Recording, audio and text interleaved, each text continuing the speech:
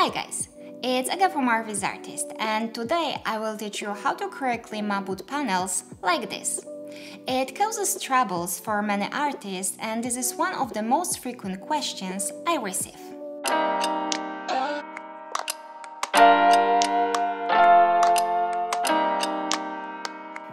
Let's jump straight into 3ds Max. This is the model we will use as an example. We usually get models like this from a client in the form of one object. I will show you how to deal with it, but first, we need a wood material. Choose the one you like, but remember that it has to have a seamless texture.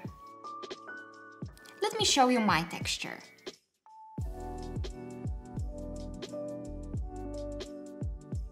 When I scale it down, there are no visible seams. Now, I will add an UVW map modifier to my object.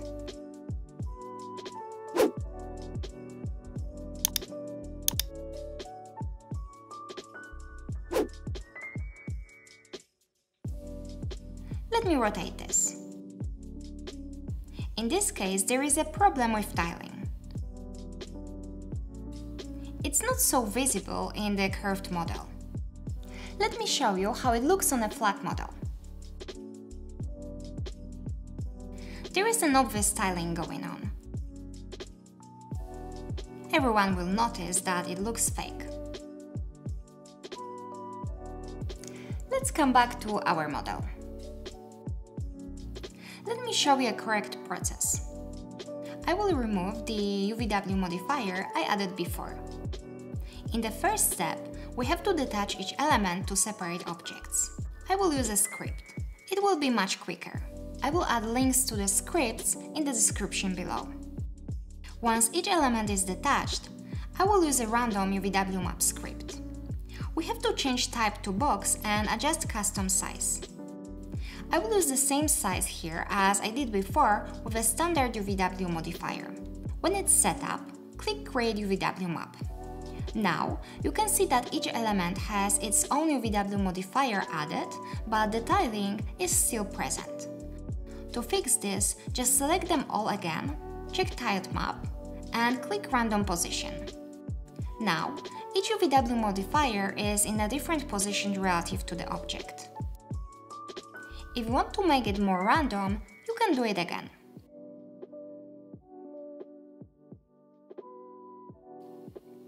When it's done, attach all the elements together. I use the Quick Attach script.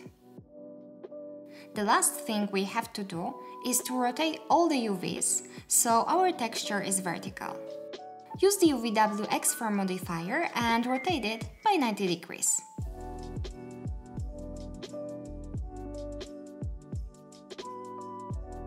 Awesome, now it looks perfect. I will show you a different example, so you are prepared to every situation.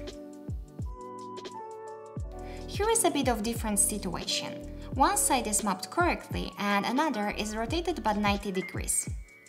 In this case, if we use the UVW X-Form modifier and rotate it by 90 degrees, the problem won't be fixed.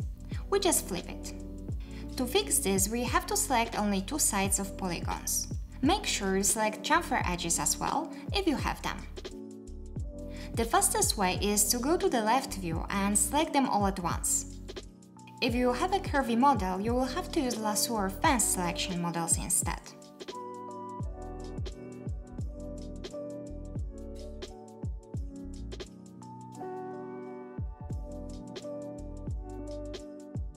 Once you have it selected, add X-Form modifier and rotate it by 90 degrees.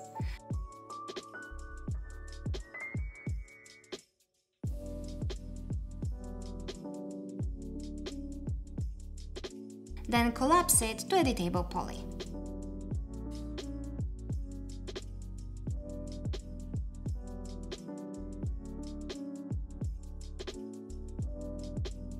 Perfect. We'll make it even better. We can make it even more random if you like. Go to the material editor. I will start interactive rendering so you know what I am doing. We'll add a map to randomize the color of each element. I am using Corona, so I will use Corona Multimap texture. Don't worry, you can do the same thing in V-Ray.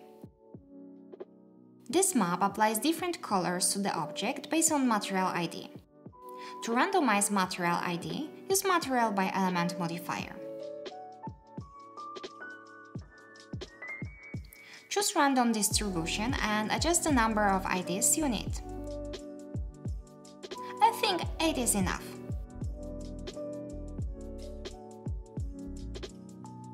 Now, we have to adjust the item count in the map settings. I will copy the red color to each slot, because we will have just one texture later. You don't have to do it, it's just to show you how it works. Great! Now let's add gamma randomizations. Let's start with 2%. Maybe a bit more. It makes the model way more realistic even with the red material. When you are more or less happy with the result, let's plug the wood map to every slot.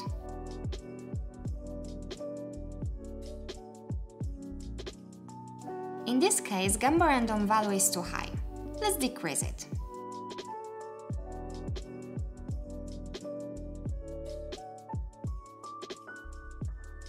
You can add a bit of random hue as well.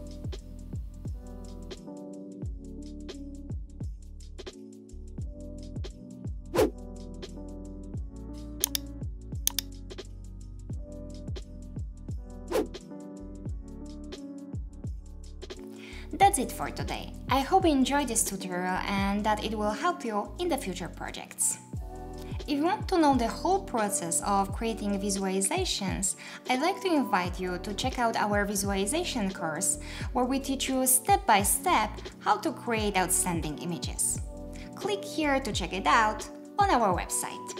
Bye bye!